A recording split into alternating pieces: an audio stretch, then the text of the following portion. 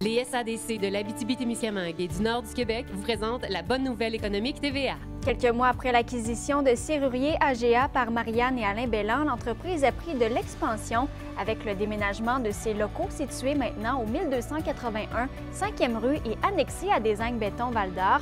L'agrandissement et le réaménagement de l'entreprise, qui représente un investissement de 500 000 ont permis d'améliorer son offre de services. Les SADC, partenaires de l'économie de la région.